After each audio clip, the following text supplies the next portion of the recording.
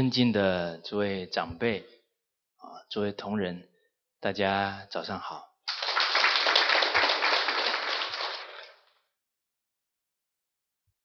我们上一次讲到啊，善恶之报，如影随形。那首先要了解。什么是善？什么是恶？假如善恶都分不清楚啊，那不造作罪业就很不可能了。所以我们这个时代啊，缺乏伦理道德、因果的教育，所以。几代的人呢，对这个是非善恶的判断呢，比较缺乏了。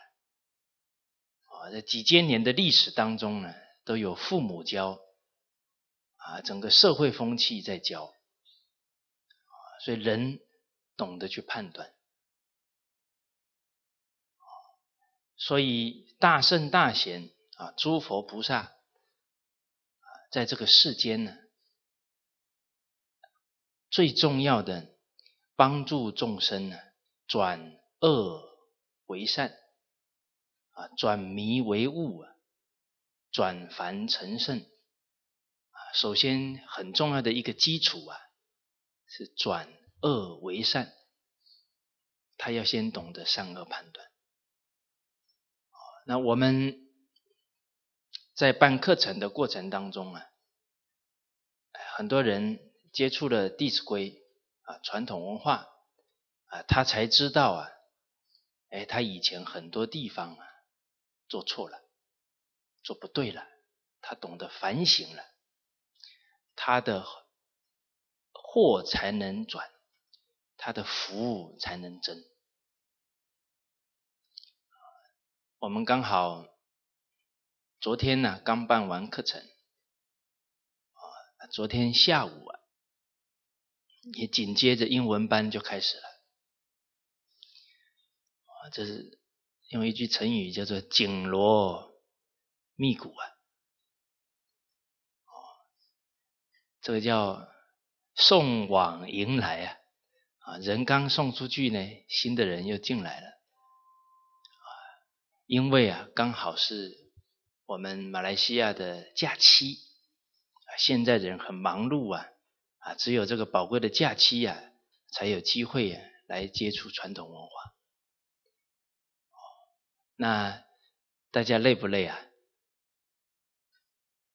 你们怎么没反应呢？啊，说不累啊，骗人的了啊啊，叫身累是吧？啊，心不累啊，心里充实啊，见人之德如己之德。啊，有人接触课程之后啊，能够断恶修善，能良心发现呢，哎，我们觉得这个付出啊没有白费了。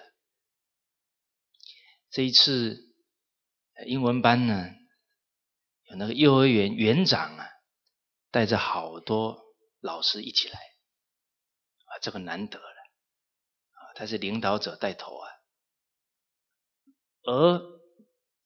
这个园长啊，他是东马的，他是沙劳越的人呢，啊，那就是我们去年到沙劳越去的时候啊，哎，他听了很受启发，哎，回去就在他们幼儿园推展传统文化了，大家有没有看到那个景象啊？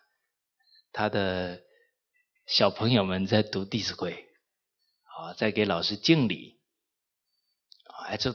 我们要赶紧去播这个种啊！芸芸众生呢，学习都有时间点呢。啊，越小学越早学越好啊！越晚学，可能他就堕落了，甚至于习气养成呢不好调了。所以《礼记学记》说：“当其可，是为时啊！”抓住那个宝贵的机会点。少成若天性呢，习惯成自然。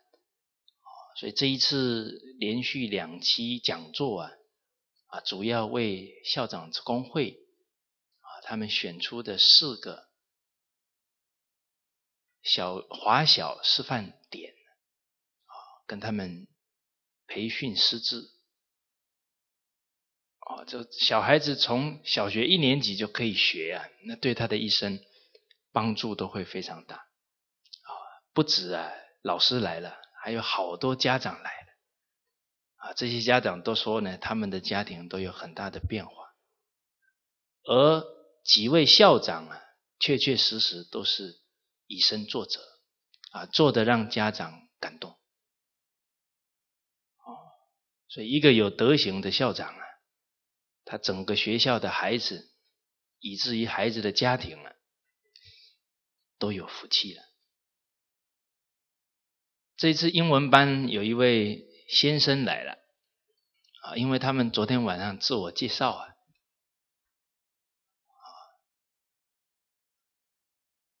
他说到他为什么来呢？说他太太啊来上完课回去改变挺大的。从这里就了解到啊，为人演说很重要哦。我们身边人闻正法的因缘，跟我们息息相关哦。我们改变很大，改掉很多习气呀，他们会觉得很好奇哦。所以这个先生呢，看他太太改变这么大，就问他太太：“哎，你最近？”很不错啊啊！什么原因哈？他太太说：“你要知道哈，自己去上课。”哈，所以他今天就来搞搞明白到底发生了什么事。What happened？哈，什么事发生了？所以我们今天呢，希望把因果报应的事实真相告诉世人呢。那我们自己呀。也要做很好的表演啊！学了以后啊，断恶修善啊，哎，福报越来越好啊，做的事情越来越顺啊，让身边的人生性啊，善有善报啊，做一个因果感应的表率出来啊！这个在古代啊。依教奉行的人，果报都非常殊胜。在宋朝啊，有一个大将啊，叫曹彬。这个曹彬啊，为人非常厚道，啊，又非常谦虚，从不邀功。从不邀功的人呢，该是他的福报啊，还是他的福报？啊，世间人假如明理了，与人无争呢，与世无求了。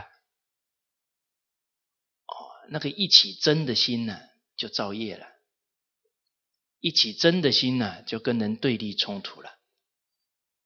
啊，本有的福折掉了呢，还得要受果报了。啊，所以这个因果报应的道理不能不明白啊，不然呢，就小人冤枉啊。做小人了，哦，这个曹彬从很多细微的地方观察呢，体恤他人的苦痛啊，非常的细腻。他曾经有一个士兵啊，犯了错啊，被判军棍呢，几十大板。结果呢，过了一年呢。才打，那这一些旁边的部署就很好奇了，怎么几十个军棍呢？要隔一年才执行啊？他们不是很理解。后来曹兵就说：“因为去年呢，这个士兵刚结婚，假如那个时候我打了，他家里的人会说啊。”就是娶了这个扫把星呢，我的孩子才会这样那他的太太可能一辈子在这个家庭里面呢，都会吃很多苦头了。哇，对一个人的家庭这么细腻啊，不只是这一个地方，是一切地方都看得到啊，包含他在打仗的时候，从不妄杀一人。有一次到成都的时候。啊打胜仗了，然后呢，虏获啊很多妇女，他就找了一个房间呢，啊，把这些妇女呢，通通都放在这个房间里面，啊，然后找人特别看守，啊，交代那个士兵，啊这个是要呈给上级的，啊，绝对不可以轻举妄动。啊有什么闪失啊？为你们试问呢？啊，那这个士兵啊就很警惕了，这个是要呈给上级的了。因为兵荒马乱呢，人就容易啊乱性，啊啊，做出这些伤害别人的事情。后来战争结束了，这个曹彬呢就一一询问这些妇女啊。是哪户人家，赶紧送回去。假如是没结婚的，无家可归了，父母也不在了，还帮他找人家安家，嫁出去。哦，你看这么细微的地方啊，他能做到的，他绝对尽心尽力去做。哦，后来呢，攻南京的时候啊，他还跟所有的大将说道。啊说我生病了啊，只有你们呢可以帮我治这个病啊。这曹兵也是善解人意哈，讲的话呢都是这些将军听得懂的啊。你给这些将军说子曰，他听不懂，他不一定听得懂哦。啊，你给他讲这些义气的话呢，个个人都懂马上呢 答应啊，歃血为盟，绝不妄杀一个人。所以在将军当中啊，能得善终、子孙昌盛的，在历史当中啊，微乎其微。大家看汉朝李广，飞将军呐，那对付匈奴啊，那无能人出其右啊，但是他官都升不上去，杀生太多，最后。到他的孙子李陵啊，去打匈奴的时候呢，被匈奴抓起来，然后诈降。虽然诈降啊，还是满门被抄斩。所以这个因果报应啊，丝毫不爽啊。所以曹兵啊，后来孩子孙子都非常显赫啊。他的一个孙女啊，最后做了皇后，都是他的善行阴德感召。另外，他有一个堂弟叫曹汉，非常的聪明。哦，这两个故事有一个重点哦，一个是非常厚道哦。一个是非常聪明哦，他的堂弟呢升官非常快，因为脑子很好，屡建奇功，在当代没有人不认识他那个弟弟曹汉。而有一次呢，他在攻江州的时候，啊，那江州是广西的一个地方，攻了很久啊才攻下来，结果进门以后啊，把所有士兵啊，全部杀掉。他愤怒嘛？结果呢，他的后代啊，不到三十年呢，就有沦为乞丐的了。所以这个善恶之报啊，如影随形。本来很大福报的人呢，只要造了大恶了，他自己跟后代啊，马上那个恶报啊，就要现前。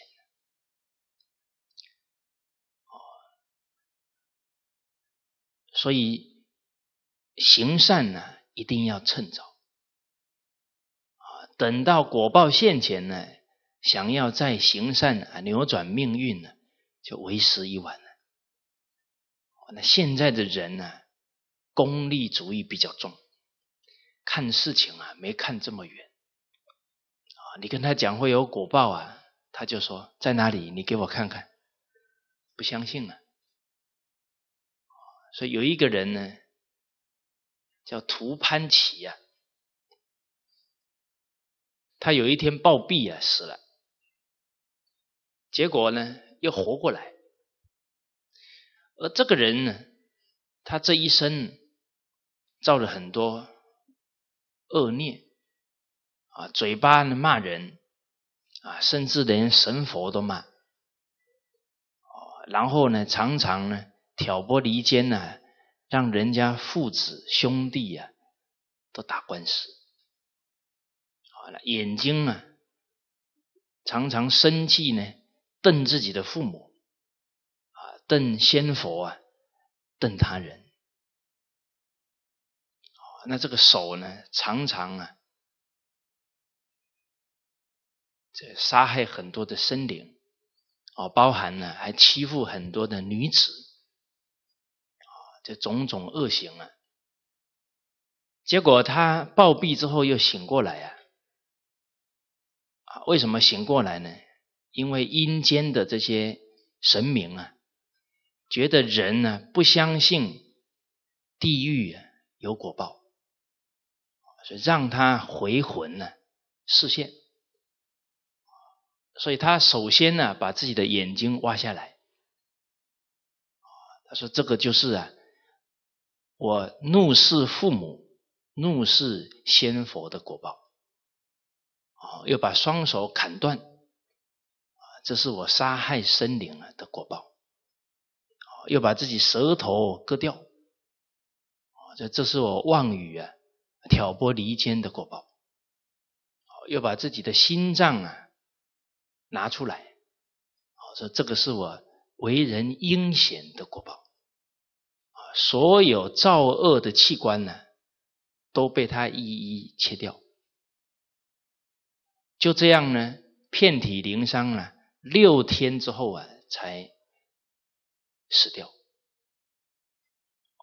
所以神明慈悲啊，告知我们呢，不可以造作罪业，地狱果报啊，确实是存在的。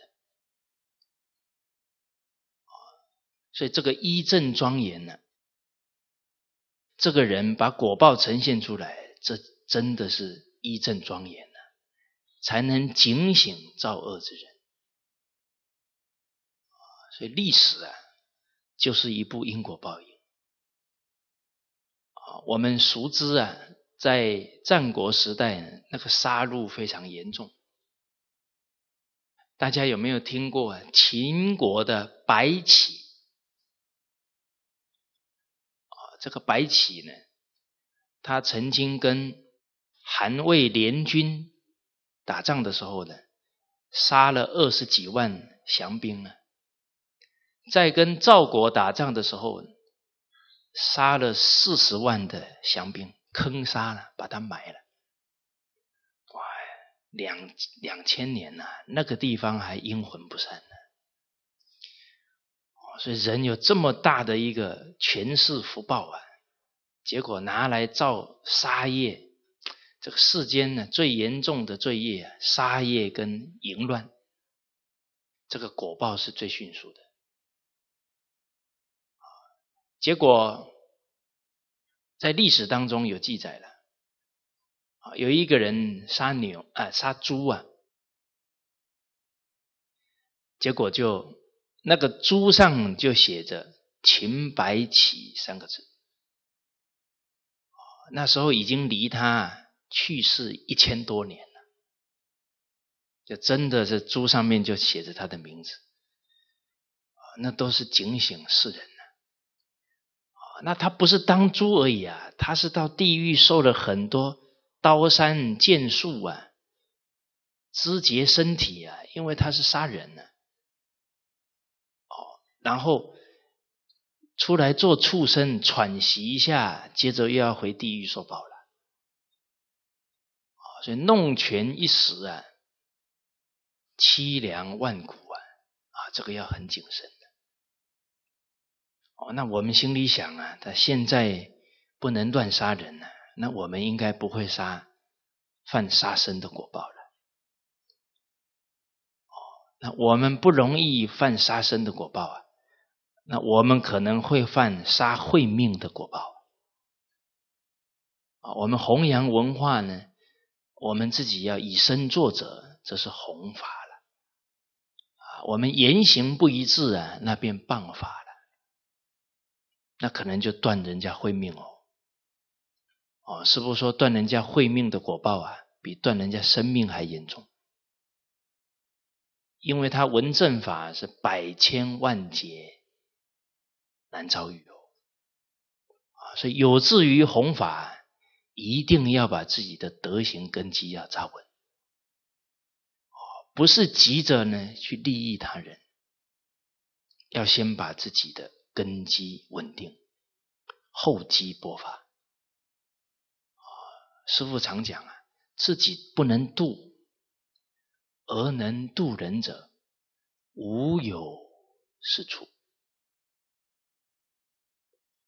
大家也很有志气。啊，都希望呢啊，师傅讲的，十年深入一部经啊，以后就有能力啊，演说这一部经，成为这一部经的专家，这是很好的志向。前提呢，扎好三个根呐，有德行的根基，才能一门深入十年。有成就啊！假如德行根基不牢，名闻利养心还很重，傲慢心还很重，哦，又可以不用干事啊，十年就让他在那里读书，在那里讲学给人听，那他哪有不共高我慢的道理呢？啊，这孟子已经讲，人皆好为人师啊，那古代是如此啊。我们这两三代人没基础的，那更是如此啊！不可好高骛远，我们要回到对治自己的习气上，这个才是根本之根本。哦，弘法立身呐，一定要建立在格物的这个根本上。所以，真正明白这个道理的在一切处事待人之接物之中啊，善观己行啊，真的对治习气。所有修行人呢，一定要打破最重要的一关，就不自欺。自己念头错了，一定要对治，不可得过且过，不可找借口。所以我们接着要讲到的月会之日啊，灶神亦然。这个灶神爷示现呢，啊，帮助于敬义公。于敬义公的道德学问呢，在我们之上很多，他都得打破自欺一关不然也改变不了命运了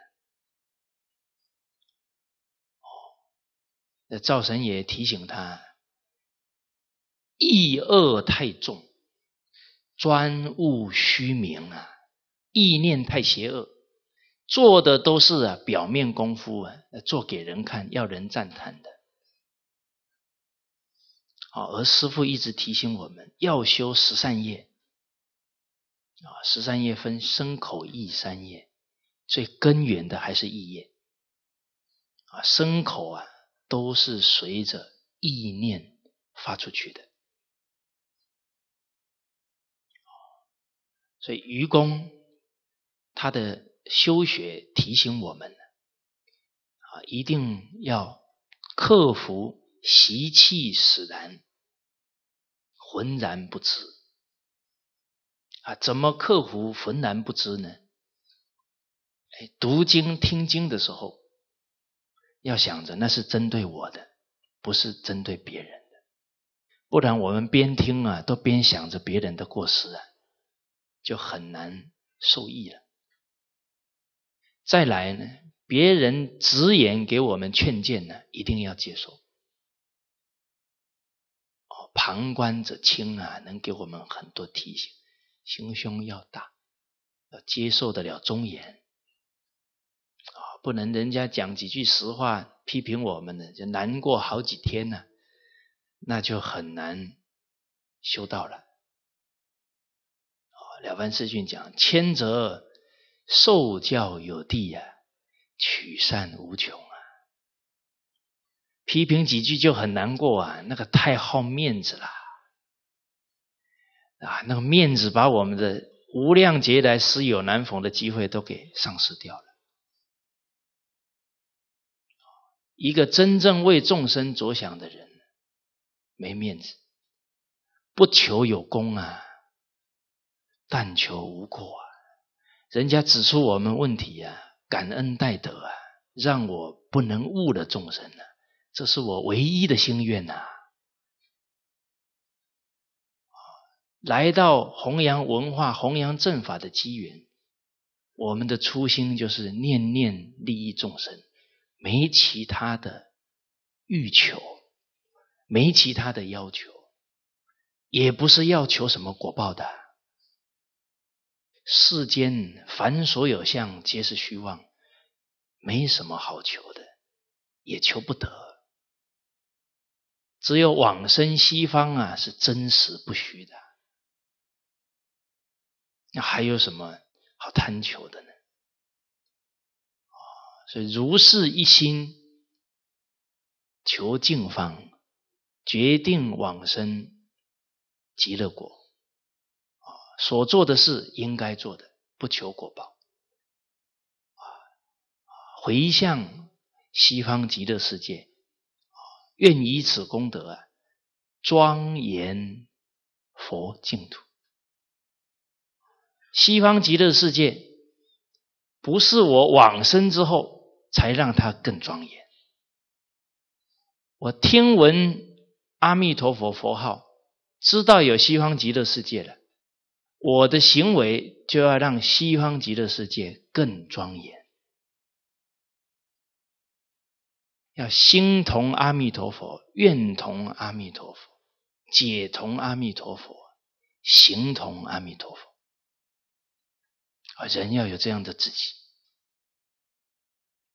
哦让释迦牟尼佛欣慰，哦让阿弥陀佛欣慰。所以刚刚我们讲到呢，这个秦白起的例子，包含唐朝也是贵族啊，李林府，那那也是李家的人呢，弄权一时啊。大家有没有听过一句成语叫“口蜜腹剑”？讲话很好听，内心藏着一把剑，害了很多忠臣。最后呢，也是被刺死。不止啊，这一生没有好的果报。结果过了三百多年呢，刚好打雷啊，把一。条牛给打死了，结果有个读书人看到了，就说了：“这个雷神不向世间除妖孽啊，怎么打条耕牛干什么呢？”结果他话才讲完呢，那个雷又劈在那个牛上，又打了一声。结果这一次劈下来啊，这个牛皮呀绽开呀，现了一排字。说：“此是唐朝李林甫，三世为娼，七世牛。他已经当了三世的娼妓，七世的牛来还债了。啊，他还了三百多年了。那当然，那个都还不不包含他在地狱受的果报了。哦，所以我们明白。”恶有恶报啊，绝对啊！从今以后，不再造作任何的罪业哦所以师父期许我们呢，随缘消旧业，哦，不再造新殃了。哦，那面对这些历史人物，我们都当做是我们的老师啊，善人效法他，恶人呢，好好啊警惕我们自己。哦，所以东岳大帝啊，他有两行对联呢，提醒世间人啊，说杨氏奸雄啊，忍心害理。皆由自己呀，皆由己呀！啊，因施报应啊，阴间的这些主管的神明啊，因施报应啊，古往今来放过谁呀？啊，所以深信因果的人呢，有大善根呢，不再造业啊，不造业啊，又一心求净土，没有不往生的了。好。那今天呢，就跟大家啊分享到这里，好，谢谢。